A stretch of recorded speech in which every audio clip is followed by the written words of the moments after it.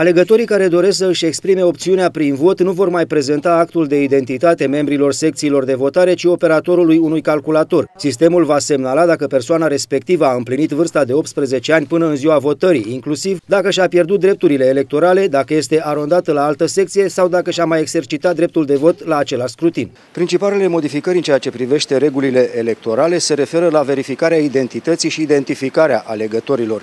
Astfel, în secțiile de votare, aceștia nu vor mai fi verificați doar pe liste, ci și într-o bază de date în calculator. Din comisiile electorale vor face parte așadar și operatori de calculator care vor fi instruiți special în acest scop și care vor face verificările cu privire la identitatea alegătorilor și secțiile unde aceștia trebuie să voteze. În baza rezultatelor generate de sistemul informatic de monitorizare a prezenței la vot și de prevenire a votului ilegal, a comunicărilor efectuate prin intermediul acestuia și a verificării actului de identitate, președintele biroului electoral al secției de votare poate opri de la votare persoana care nu a împlinit vârsta de 18 ani până în ziua votării și persoana care și-a pierdut drepturile electorale. De asemenea, poate îndruma alegătorul să voteze la secția de votare la care este arondat, în cazul în care este arondat în altă parte sau nu a fost înscris în registrul electoral cu domiciliul sau reședința în străinătate și poate înscrie în lista electorală suplimentară.